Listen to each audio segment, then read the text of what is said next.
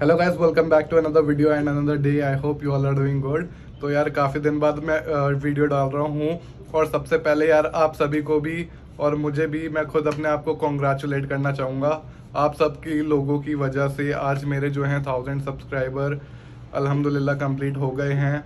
और आप सबका ही ये जो साथ था सपोर्ट था, ये थ्रू आउट बना हुआ था तो ये सब चीज़ जो है अचीव कर पाए। और उसका भी बताऊँगा, जो मेरे वॉच आ रहे हैं, वो भी कंप्लीट हो गए हैं।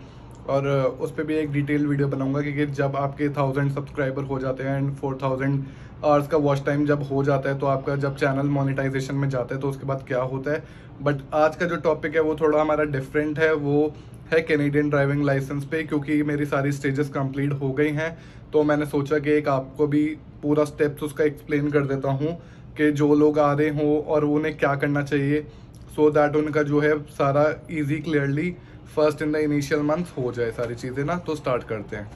तो सबसे पहले गाइस जब आप लोग इंडिया से आओगे या कोई सी भी दूसरी कंट्री से आओगे and somebody if somebody is coming from different country तो जो जब आप यहाँ पर आओगे तो आप एक डीएल एक्सट्रैक्ट जो होता है अपनी कंट्री का, वो ज़रूर लेकर आना। उसमें ये होता है कि आप कितने टाइम से गाड़ी चला रहे हो, या जो भी आप व्हीकल वगैरह चला रहे हो, कितने टाइम से आप चला रहे हो, और आपका रिकॉर्ड जो होता है, वो पूरा उस पर आ जाता है।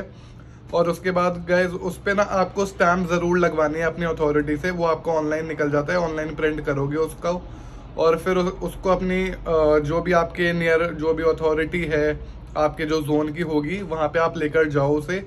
और वहाँ पे जो ऑफिसर होता है, उसका साइन उस पर ज़रूर करवाना। उसके बिना यहाँ पे वो वैलिड नहीं होता है। और जब आप वो चीज़ लेकर यहाँ पर आ जाओगे, अब आप कनाडा में आ गए हो, अब उसके बाद वो जो आपका डॉक्यूमेंट है, जो आपका डी एल एक्सट्रैक्ट है, वो आपका जो वैलिड रहेगा, वो रहेगा फॉर सिक्स मंथ अब सिक्स मंथ का आपका वैलिड है, अब बढ़ते आगे. और आप अब जाओगे अपने अथॉरिटी में, जो भी आपके यहाँ पे आएगी. सपोज़ मैं किचनर में रह रहा हूँ अभी तो मैं किचनर का एग्ज़ाम्पल ले लेता हूँ. अब मैं किचनर गया सबसे पहले, अब मैं वहाँ पे जाऊँगा तो मुझे क्या चीज़ फेस करनी पड़ेगी? सबसे पहले मैं अप्लाई करूँगा जीवन लाइसेंस के लिए. जीवन लाइसेंस होता है हमारा लर्नर लाइसेंस जैसे इंडिया में हमारा नॉर्मल लर्नर लाइसेंस बनता है, वैसे यहाँ पे जीवन होता है लर्नर लाइसेंस उसमें होता क्या है बेसिकली आपका जो है सिंबल्स होते हैं और रोड के जो है, पूरा आपको उसमें नॉलेज टेस्ट एक तरीके से आपका नॉलेज टेस्ट होता है और एक सिंबल टेस्ट होता है। तो दो इसमें टेस्ट होते हैं एंड ये जो होते हैं फोर्टी क्वेश्चन होते हैं इसमें। और आपको हर मॉड्यूल में सिक्सटीन क्वेश्चन जो हैं, दो मॉड्यूल होते हैं तो दोनों में आपको सिक्सटीन सिक्सटीन क्लियर करने रहते हैं। और जो पंजाब वगैरह से भाई, लोग वगैरह आ रहे हैं ना तो मैं बता देता हूँ, उनके लिए बहुत अच्छी इन्फॉर्मेशन है। मतलब अगर भाई थोड़ा इंग्लिश में हाथ तंग वगैरह है तो उसमें पंजाबी में भी पूरी पीडीएफ बनी हुई है तो आप लोगों को काफ़ी ज़्यादा बेनिफिट होने वाला है। और, जब आप वो टेस्ट क्लियर करते हो अपना, जो आपका जीवन टेस्ट है मतलब अपना जो टेस्ट आप कंप्यूटर बेस्ड टेस्ट क्लियर करोगे उसी दिन तो फिर आपको मिल जाएगा अपना जीवन लाइसेंस जीवन लाइसेंस आपको एक नॉर्मल सा मिलेगा पहले जो कच्चा सा होता है पेपर पे, वो फिर आपको जो आपका लाइसेंस होएगा हार्ड कॉपी आती है यहाँ पे लर्नर लाइसेंस की भी, वो आपको मेल हो जाएगा आपके मेलिंग एड्रेस पे। गाइस कुछ आपका जो जीवन लाइसेंस है, वो रहेगा ऐसे आई होप आपको दिख पा रहा होगा कैमरे में ढंग से। क्योंकि अभी सन भी काफ़ी तेज़ आ रहा है तो चश्मा लगा के बैठा हूँ मैं भी वीडियो बना रहा था। मैंने कहा, भाई, आज वीडियो बनाते हैं फाइनली बनाई ने काफ़ी टाइम से। तो गैस यार, जब आप जाओगे ना अपने जीवन टेस्ट के लिए तो आपको मैं एक टाइम बताता हूँ। सबसे सही टाइम जो है जाने के लिए वो है आठ बजे। आठ बजे किसी ना किसी तरीके से वहाँ पे अपने जो सेंटर है, पहुँच जाओ। क्योंकि आठ बजे के बाद जो भाई, जो लाइन हो जाती है, वो इंसेन हो जाती है। और अगर आपने मेरी रील नहीं देखी तो मैं रील डाल दूँगा। जो शॉर्ट्स है यूट्यूब पे शॉर्ट देख लेना। उसमें देख लेना भाई, लाइन कितनी लंबी हो जाती है। अगर आप लेट गए तो। फिर आप लेट जाओगे, आपका ही नुकसान है। दो घंटे लाइन में खड़ा रहना पड़ेगा, फिर आपका नंबर आएगा, फिर सारी चीज़ें होएगी। तो better to leave early and to come early guys आप लोग अब पूछोगे कि हम जो एक्सट्रैक्ट लाए हैं, उसका फ़ायदा क्या है बेनिफिट क्या है? तो वो बता देता हूँ आपको बेनिफिट क्या होता है उससे।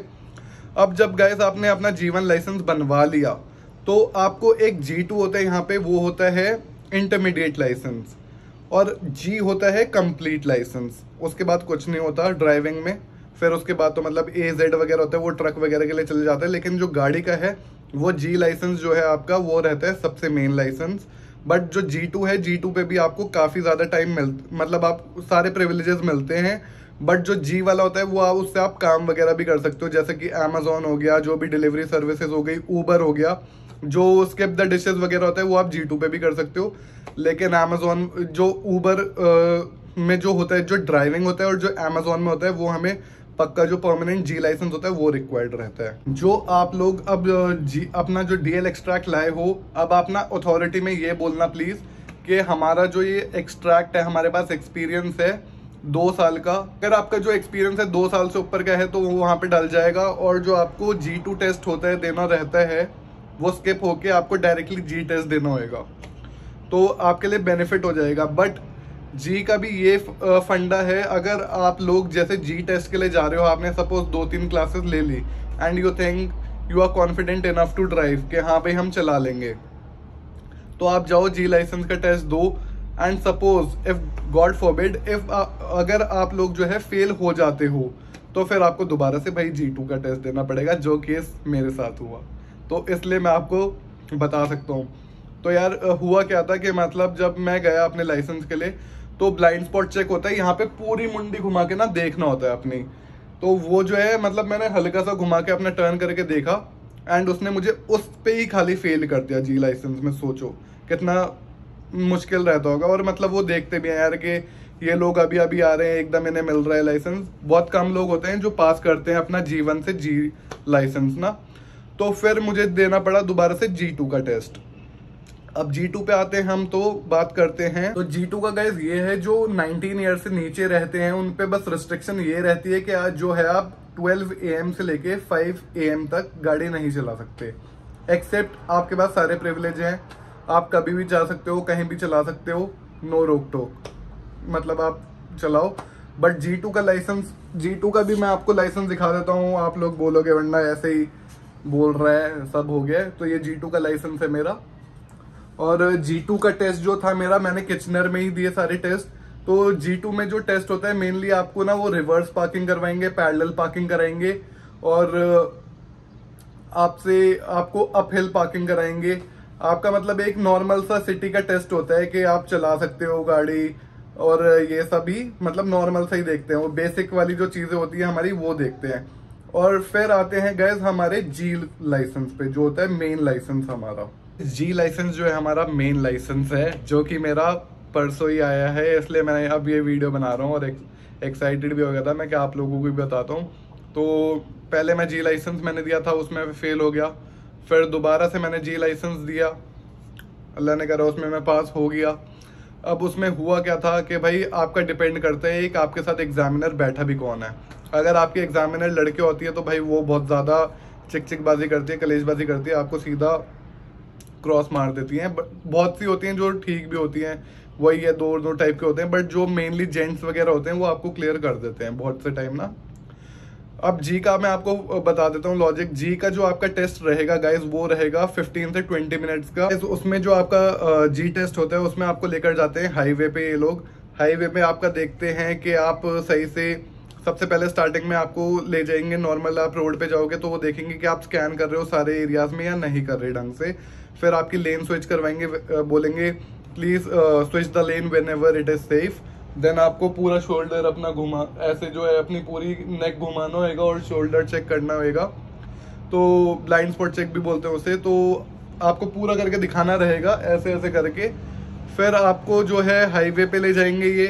हाईवे पे अब आपका क्या होता है कि 90 की, यहाँ पे किचनर में 90 थी स्पीड लिमिट हाईवे पे। तो अब देखेंगे जैसे आप हाईवे पे जाओगे, एकदम आप मर्ज कर पा रहे हो ट्रैफ़िक के साथ स्मूथली या नहीं।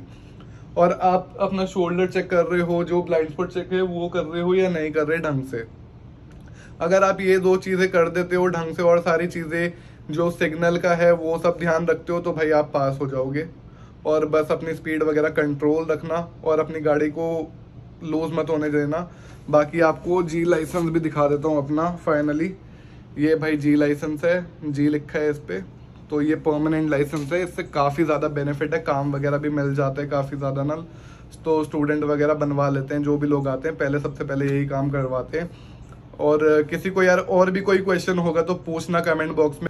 Comment box is always open for you guys और जो गाइज़ यहाँ पे क्लासेस देते हैं, वो अपने ही बहुत खास बंदे हैं, अब्दुल भाई हैं। अब्दुल रहीम बोबट, नाम है उनका। अब कोई मेरा रेफरेंस उन्हें देगा तो पाँच, दस डॉलर डिस्काउंट भी कर देते हैं। अगर कोई आएगा तो उन्हें मेरा नाम वगैरह बता देना, उनका नंबर डाल दूँगा वीडियो के डिस्क्रिप्शन में। उनको कॉल कर लेना। वैसे बिज़ी रहते हैं काफ़ी ज़्यादा ना वो। तो अपने अगर बिज़ी हुए तो मेरा नाम वगैरह लेना। अब्दुल मन्नान दिल्ली से ऐसे पहचान जाते हैं मुझे। तो बता देना उन्हें कि भाई उन्होंने नंबर दिया है और बढ़िया से सिखाएँगे। मैंने भूल रखा है उन्हें, जो भी कोई आए मेरे थ्रू तो भाई उसे थोड़ा बढ़िया से करवा देना और बाकी आपका क्लियर वगैरह करवा देंगे। स्ट्राटफोर्ड ले जाके भी ना, थोड़ा स्ट्राटफोर्ड पे इजी ट्रैक रहता है। और गाइस गाड़ी का भी मैंने देखा, काफ़ी लोग आप में से बोल रहे थे, गाड़ी तो ली नहीं गाड़ी तो ली नहीं गाड़ी तो ली नहीं यार। अभी जो है रेट बहुत ज़्यादा हाई चल रहे हैं यूज़ गाड़ियों की और जो अगर ब्रांड न्यू गाड़ी आप बुक कराने जाओगे तो छः महीने कहीं नहीं गए। और यूज़ पे जो है, मेरे अभी कोई इतना अच्छा तो यहाँ पे अभी जो क्रेडिट हिस्ट्री है, वो कोई हो ही नहीं क्योंकि एक साल आपको मिनिमम रहना पड़ता है कैनेडा में, तब जाके आपको फाइनेंस मिलता है। बट स्टिल देख रहा हूँ मैं कि भाई किसी तरीके से हो पाता है, कुछ होता है। तो बहुत जल्दी इंशाल्लाह कुछ बनता है तो अपडेट करूँगा आप लोगों को और फिर देखते हैं, कुछ ना कुछ बढ़िया होएगा इनशाला नेक्स्ट जो वीडियो दूँगा, मैं आपको दूँगा अपार्टमेंट टूर की। पूरा अपार्टमेंट दिखाऊँगा। अभी आपको डिस्क्लोज नहीं करता हूँ, पूरा बहुत ज़्यादा बढ़िया हो गया अभी जो आसपास का एरिया है तो आपको भी अच्छा लगेगा देख के। बाकी गाइज़ यही सब था आज की वीडियो में। अगर आपको वीडियो पसंद आई तो लाइक कर देना। और कोई नया है चैनल पे तो प्लीज़ भाई सब्सक्राइब कर देना। और बस आपसे यही है यार, प्यार बनाते रहो और चैनल ऐसे ही बढ़ता रहे।